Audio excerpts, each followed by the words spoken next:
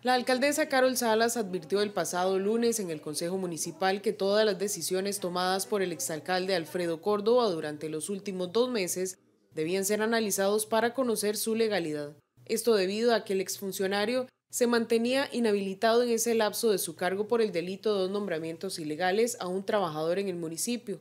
La investigación quedará a cargo del Departamento Jurídico de la Municipalidad de San Carlos y posiblemente un órgano externo también participe en el proceso. Que deben ser revisados, deben ser analizados para aclarar cuál es la situación jurídica en este momento de la municipalidad.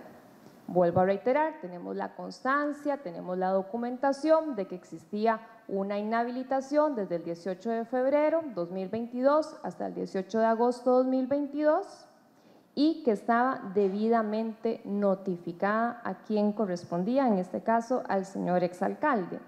Y en ese sentido hay una consecuencia y es la gravísima posibilidad de que todos los actos ejecutados en este mes y medio anterior, del 24 de mayo hasta las 7 horas del 15 de julio, sean actos que tengan nulidad.